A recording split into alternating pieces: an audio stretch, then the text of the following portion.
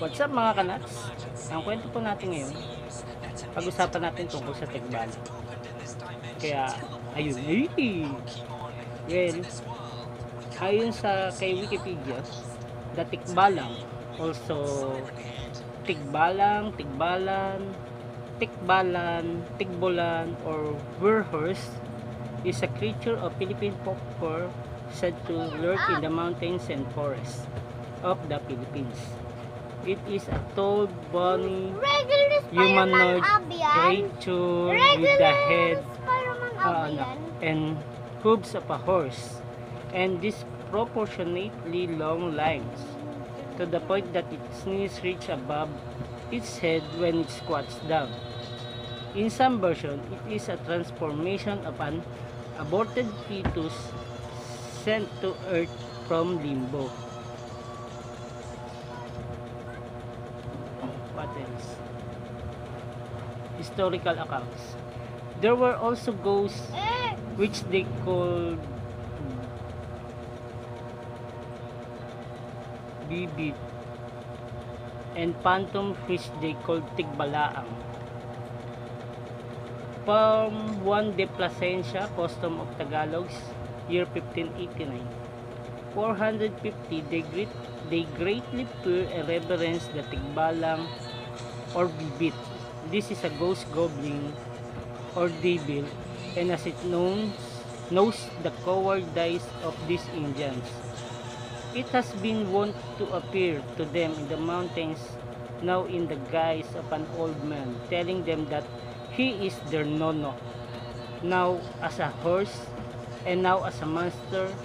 Consequently, the Indians in their terror make various pacts with it and trade their rosaries for various article articles of superstitious value such as hairs, grass, stories, and other things. Excuse me. In order to obtain all their intents and free themselves from all the dangers, thus do they live in delusion until God wills that the evan- evangelical minister undeceive them, which cause no little effort because of the very great fear which, with which they are filled. From Francisco de San Antonio Coronicas 1738 to 44 year 1738 The tigbalang is another object of which yes na of which they stand in great awe. It is described as a phantom which assumes a variety of uncouth and monstrous shape and interposes its authority to prevent their performing the duties prescribed our religion. From Martinez de Zuniga Estadismo, year 1803. Origins, edit. Further information, Hayagriba, History of the Philippines, year 900 to 1521. Religion in pre-colonial Philippines, Hinduism in the Philippines, and Buddhism in the Philippines. The form of the Tikbalang traces back 4,000 years ago. Wow, 4,000 years ago, year 2020 tayo, di? So, before Christ, ganun. Or after Christ. Ay, before Christ, kasi after Christ tayo ngayon. With roots in Hinduism, which explain how the influence evolved into the mysterious half-horse creature, we know today. Ancient people in the Philippines believed in animism.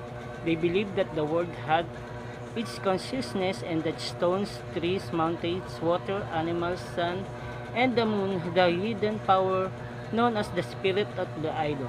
This power could be good or harm the spirit, but it was believed to control some aspect of life in 1589 during the earliest days of the Spanish occupation. Power then Power, Father Juan de Plasencia documented the long-term tikbalang awareness of indigenous people. Hmm. Yun nga, alam ko rin bago makarating mga Spaniard, bago makarating yung Katoliki, Katolikis, we, Katolitismo dito, may mga sinasamba tayong mga galang ani-anito. Ang alam ko nga sa araw. Yun. Hinduism from its origin in India spread to Southeast Asia in 200 CE. as Indian cultural influence spread throughout the region through trade routes. Tikbalang may have originated from Hayagriva, an avatar of the Hindu gods Vishnu. The worship of Hayagbina was recorded in 2000 BCE. The images of giant flying birds, the Tikbalang and Serena are straight out of, out of Hindu imagery. Influence of religion was also pre- prevalent with the concept of a multi-layered world, heaven and hell, according to the Hindu Takot. Puranas. Takot. Nag- Nag-power up. There are 14 worlds Nanda in the universe. Yes, nak. The seven upper and the seven lower. na? The seven Na upper words na are Bu. Baba, Na- Swa, Maha, Ay, ganun na Gana. yan. Nakikinig ako. Tapat and Sapyam. And the seven middle words are Atala. Nakikinig nga ako. Ikaw naman, ang hilig mo sa mag di ba sinabi ko sa'yo mag-ano ko? Tala sa talara sa tala, talala, mahatala, empatala, panaypalala. The region known as Bu is the earth world with blood. Ano nga?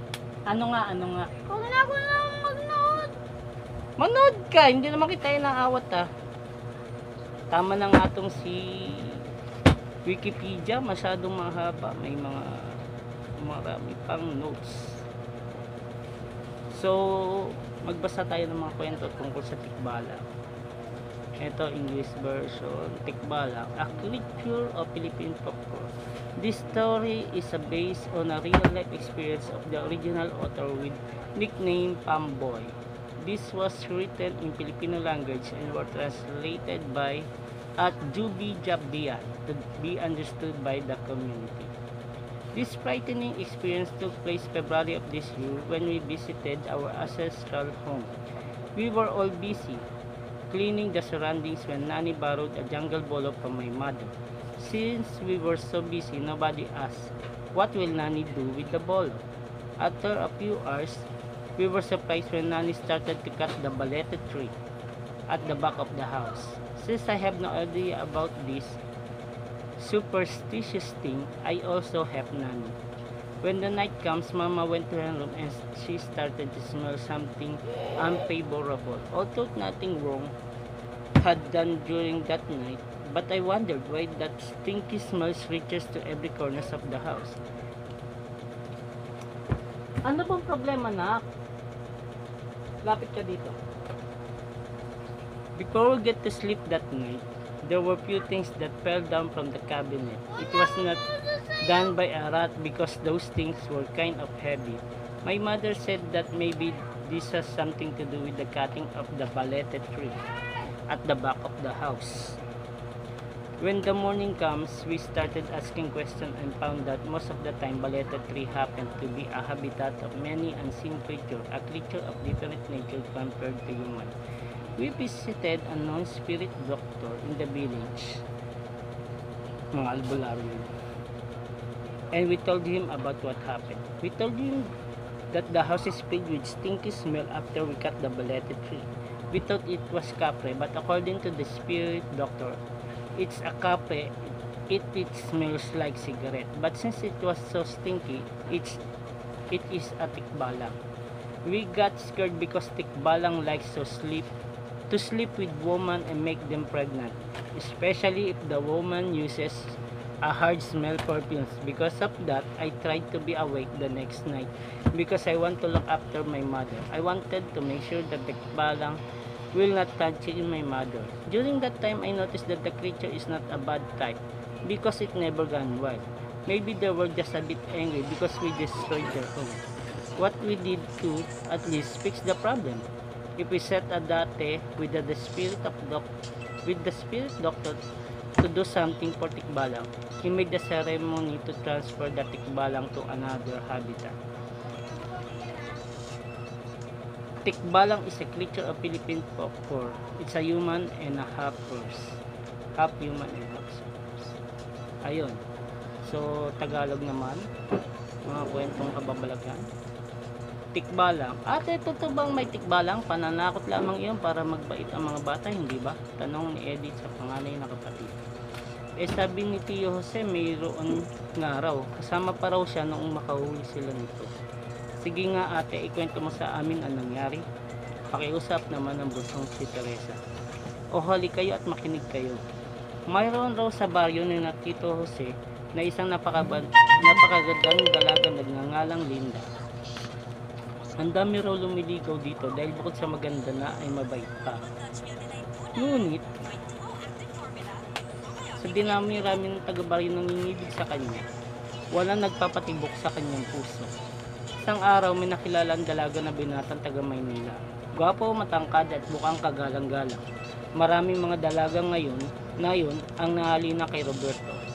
Ngunit, ang napagdaanan nito ng pagtingin ay si Linda. Napaglaanan nito ng tingin si Linda. Ang pamimintuho ng binata ay sinuklian din ng pagmamahal ng dalaga. Kaya't hindi nagtagal at sila ikinasal. May ligaya mga araw ang nagdaan sa mag-asawang lubos ang pagmamahalan. Ang naging sapting ng kanilang pagmamahalan ay isang magandang batang babae na pinangalangan ng ligaya. Ngunit sa maaliwalas nilang langit ay dumating ang madilim na ulap. Nagkasakit si Linda at di naglaon ay pumanaw. Naiwan ng magamang parang binagsakan na sa mundong kapitian. Isang gabi nang binigyan, binibigyan ni Roberto ang sanggol ng bote ng gatas, naramdaman niyang may dumating na tao sa kanyang likuran. Laking mangha niya nang makita sa pintuan ng silid ang asawa na, na nakalilibing pa lamang nila noong nagdaang linggo. Hindi ito nagsasalita, ngunit nakaunat ng mga kamay at waring hinihingi ang bata. Huwag Linda, ikaw ay patay na. Hindi maaari. Hinigpitan Roberto ang pagpa, pagkapangko sa bata at umiiling. Umalis ang babae, ngunit sa sunod na gabi ay naroon ulit. Lalo maigpit ang pagtanggi ni Roberto sa na iabot ang bata. Ngunit hindi siya makatulog sa malaking takot at pagtataka. Nang, mangy- nang mangyari uli sa ikatlong gabi, naisip niyang sumangguni sa mga matatandang taganayo. Hindi mo ito nilinda iyan, Roberto. Tikbalang iyon, na nagaan yung tulad ng asawa mo. May mga tikbalang dyan sa ating parang, doon sa mga puno ng lumbang, sila natutulog pag-araw at sa gabi lumalabas. Tunay po bang may tikbalang? Akala ko po yung mga istorya lang iyon, takang-takang tanong ni Roberto. Totoong may tikbalang, kilala mo ba si Karyong Sinto-Sinto? Kaya naging ganoon ang taong yun ay dahil nakuha iyon ng tikbalang ng bata pa. Nawala ng dalawang araw at natagpuan ng ama sa ilalim ng puno ng lumbang. Naku, ano po ang aking gagawin? Gabi-gabi po ay lalong humihig, humihigpit ang pamimilit niyang makuha ang bata. Halos maiyak-iyak si Roberto. Kaya mo't paghahandaan natin pangako ng matanda. Nang gabing iyon, dumating sa dating oras ang tikbalang ng mukhang si Nandudukoy na sana nito ang batang pangak pangko ni Roberto. Biglang naglabasan sa silid ang mga lalaki. Nagitla ang tikbalang at dagling tumalong sa bintana. Ngunit sa ibaba ay nakahanda rin ng ilang taong bigla siyang nasunggaban sa buhok. Pinagtulong-tulungan nila itong iginapos sa puno ng nyug. Hinampas ng hinampas hanggang magsisigaw ito sa paghingi ng awa. Patawarin, aalis na ako rito sa lugar nyo.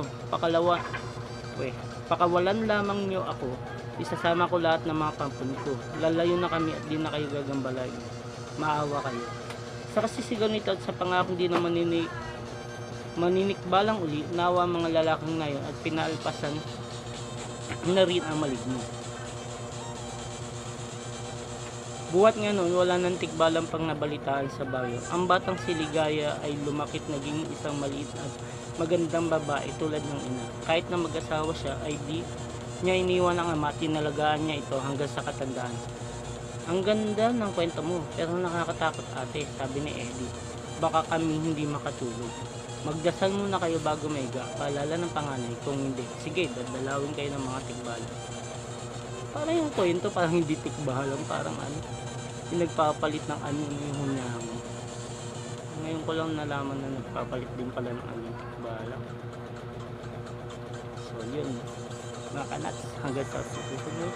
Please like, subscribe, and share. Thank you.